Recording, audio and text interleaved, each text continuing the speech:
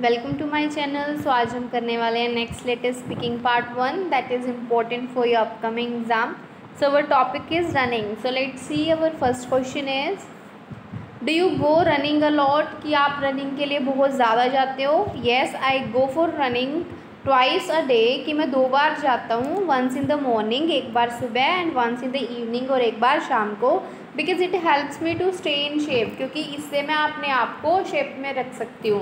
That means कि मैं अपने आप को हेल्दी रख सकती हूँ। Stay in shape is an idiom जिसका मतलब होता है healthy so let see next question where do you usually go running क्या आप रनिंग के लिए यूजली कहाँ जाते हो? प्लेस पूछिए आपसे। Mostly I go for a run to a park कि ज़्यादातर तो मैं पार्क में ही जाता हूँ which is a stone's throw away from my place जो कि मेरे घर से थोड़ी सी दूर है। Stone's throw away from my place भी एक ईडियम है, जिसका मतलब होता है nearby but sometimes I run in the school playground but कई बार मैं स्कूल प्ले ग्राउंड में भी रन करता हूँ।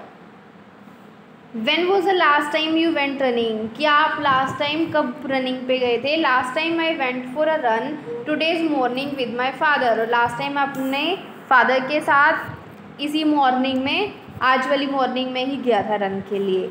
What do you think of running as a sport क्या आप रनिंग को एज अ स्पोर्ट कैसे मानते हो? क्या सोचते हो? रनिंग इन माई ओपिनियन कि मेरे according running is the ideal way to stay healthy कि ये एक परफेक्ट तरीका है। आइडियल का मतलब होता है परफेक्ट कि परफेक्ट मेथड है फिट रहने का because it is a full body aerobic workout क्योंकि रनिंग करने से हमारी फुल बॉडी की जो मसल्स हैं, वो वर्कआउट करती हैं दैट हेल्प्स पीपल जो लोगों को हेल्प करती है रिड्यूस स्ट्रेस स्ट्रेस रिड्यूस करने में and stay fit as a fiddle और हेल्दी रहने में। So that's the end of the video. Thank you so much for watching. Don't forget to like, share and subscribe.